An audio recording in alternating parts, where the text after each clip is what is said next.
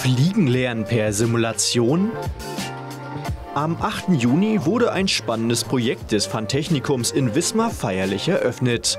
Das Besondere, gestaltet wurde der Flugsimulator von Schülerinnen und Schülern des Gerhard-Hauptmann-Gymnasiums.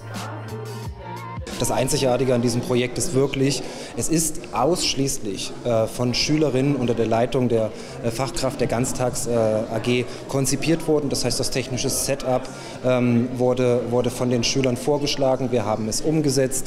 Die Programmierung der Simulation wurde von den Schülern vorgeschlagen. Wir haben die Software angeschafft. Die Schüler haben in der Software sozusagen die Maßnahmen oder die Installationen vorgenommen. Das heißt, was man hier wirklich sieht, ist eine ganz gelungene und auch zeitgemäße Kooperation von Schule und Museum und da sind wir wirklich dankbar. Im Jahr 2021 übernahm das Fantechnikum den funktionsfähigen Flugsimulator. Hinzu kam ein Maßstabsmodell eines Bodeneffektfahrzeugs vom Fraunhofer Institut für grafische Datenverarbeitung. Die Jahrgänge 7 bis 12 des Gymnasiums arbeiteten seither an der Reaktivierung in der Flusi AG. Bürgermeister Thomas Bayer begrüßte die neue Vielfalt im Technikmuseum. Es ist eben nicht nur Museum äh, äh, im klassischen Sinne, das heißt, äh, es gibt den historischen Rückblick, sondern äh, hier äh, gibt es auch äh, die Möglichkeit, sich mit heutiger Technik zu befassen.